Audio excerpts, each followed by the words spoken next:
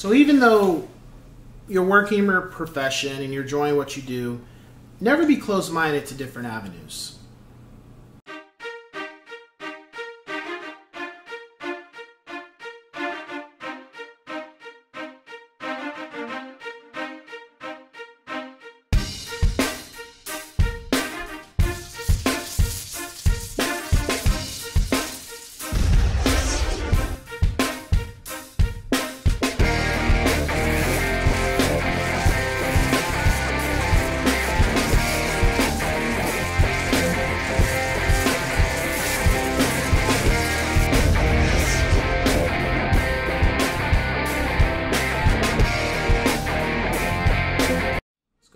And gentlemen, Cyberland coming back to another real estate video. And on this one, I'm pretty much discussing um, different avenues. So, up until a couple months ago, I used to do open house every day, day in and day out, every day. I would take one day off based on my discussion with my mentor. And I would just wait for people to show up to open house.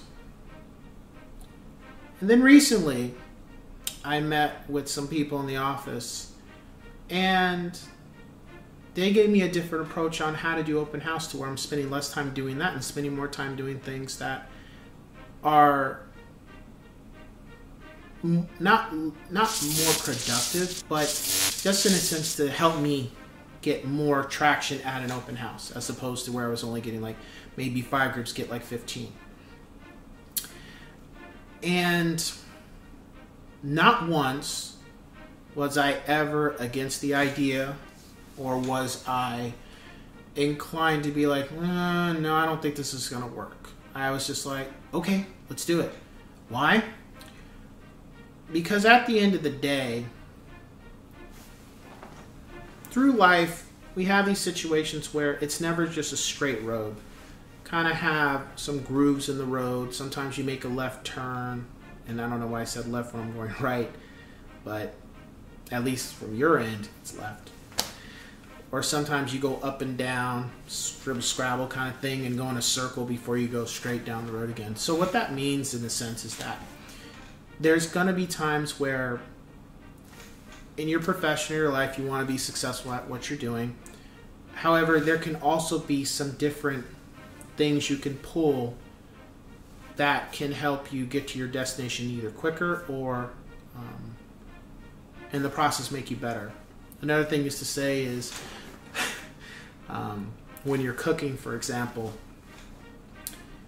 you know, for for me, um, the last time I made spaghetti, uh, I would normally just make a batch for, you know, for the week. You know, we get our sausages, get our peppers, onions, sugar. Yes, sugar goes in Italian spaghetti. Okay, from from people I have talked to that make that.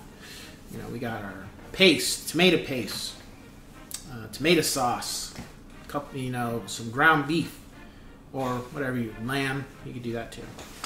And I would make it for a week, and then I tried a different avenue or tried a different approach where I would still do the same thing, but I'd make more. Why? Because I have all these ingredients. Why not utilize all of them and then freeze the rest of it and save it for, you know, later down the road?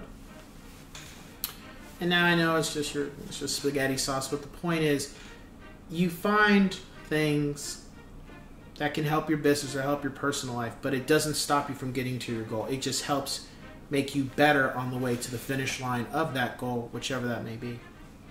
Whereas incorporating a different workout routine or incorporating, it, or for me, when it comes to practicing my guitar, adding um, a thing that I learned about a spider technique where I use each finger up and down the fretboard as opposed to just palm muting practice or um, doing a scale. So that's one thing I've done. Uh, same thing can be said for uh, you know what you're eating, um, or if you already have good dialogue with people, just adding something into the dialogue that you normally don't do that makes you better at your craft. It's just finding things that, you know, make you better. So, yeah. Well, anyway, with that being said, I will catch you guys on the next one. Take care.